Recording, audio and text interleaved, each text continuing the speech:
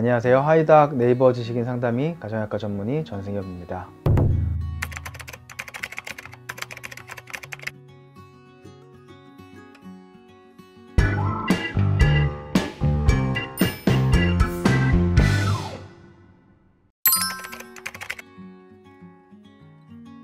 말씀하신 어지러움은 급격한 다이어트로 생긴 증상일 수 있습니다. 다이어트를 시작하면서 식사량을 줄이게 되면 많은 분들이 어지러움을 느끼곤 하시는데요. 대표적인 원인은 세 가지입니다.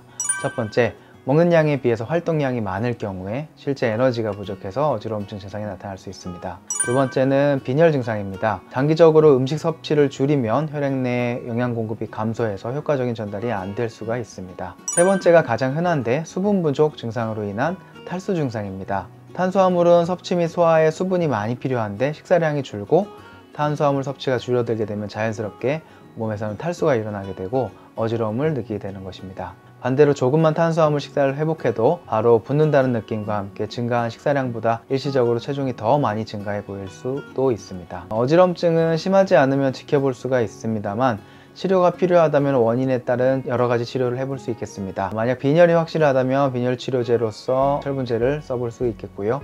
그렇지 않다면 어, 직접 전문의와 상담을 해서 원인이 무엇인지 파악해서 치료하시는 것이 도움이 될 것 같습니다.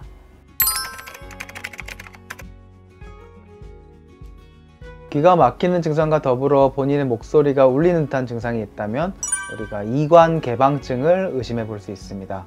이관은 귀 속 압력을 조정하는 기관입니다. 따라서 이관 개방증은 말 그대로 이관이 열려 있다는 뜻인데요.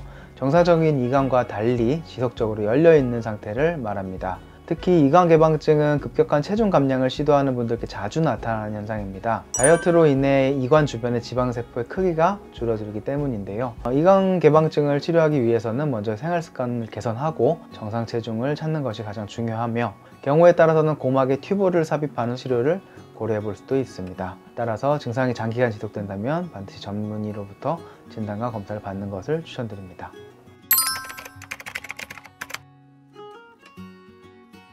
비만은 혈압을 상승시키는 주 요인이고 심혈관 질환 등 다양한 합병증의 위험성을 높입니다. 그래서 심혈관 질환의 예방을 위해서도 다이어트가 필수적인데요. 질문 주신 대로 시중에는 여러 종류의 다이어트 보조제가 이미 많이 나와 있습니다. 예를 들어 포만감을 준다거나 식욕을 억제해주는 효과를 통해서 다이어트에 도움을 준다고 하는데 어, 사실대로 말하면 병원에서 처방받는 다이어트 약이랑은 조금 차이가 있습니다.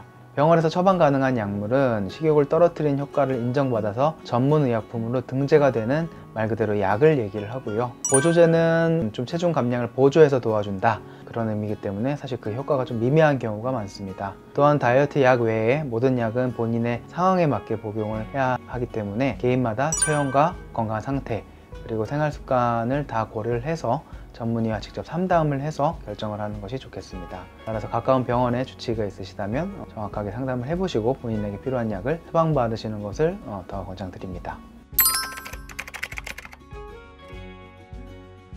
사람마다 다르겠지만 이 생리전 복부 팽만을 겪으시는 분들이 많습니다. 이는 호르몬 변화로 생기는 생리전 증후군 중에 하나고요. 호르몬들이 자궁 수축을 방지하면서 실제로 타기관에 영향을 주면서 생기는 증상입니다. 이로 인해서 장의 활동도 둔해지고 소화가 원활하게 되지 않아서 복부 팽만감을 느끼시게 될 가능성이 많습니다. 또한 일부 여성들은 호르몬의 영향으로 생리 전 부종을 경험하기도 하는데 마찬가지 원리로 생리 기간 중에 몸이 부으면서 상대적으로 배가 나왔다라고 느끼시는 걸 수도 있습니다. 생리 전 증후군 증상이 일종인 식욕 증가로 인해서 실제로 살이 찌는 경우가 있는데요. 따라서 생리 기간 중에 급격하게 식사량이 늘진 않았는지 점검해 보는 것도 필요하겠습니다. 생리 주기마다 말씀하신 증상을 겪어서 불편함이 크시다면 원인이 무엇인지 한번 병원에 방문해 보시고 적절한 치료법을 찾아보는 것도 도움이 되겠습니다.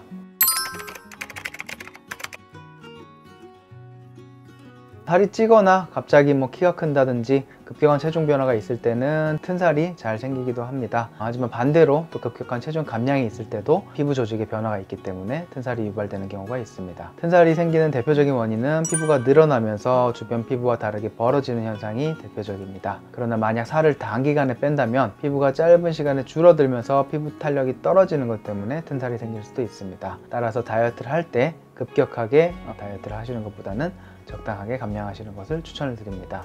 초기에 튼살 처음에 보이는 붉은 튼살 같은 경우에는 크림이나 아니면 꾸준한 관리로 개선의 효과를 볼 수 있습니다. 하지만 뭐 흰 튼살이라든지 페인트 튼살 같은 경우에 좀 자가 관리가 쉬운 경우가 많지가 않기 때문에 전문적인 치료가 필요하며 또한 나중에 완벽하게 없어지지 않을 수도 있습니다. 아, 그리고 또 관리하는 법으로서 튼살은 피부가 건조할 때 쉽게 생기기 때문에 평소에 일정한 수분을 유지할 수 있도록 보습에 신경 쓰시는 것도 좋겠습니다.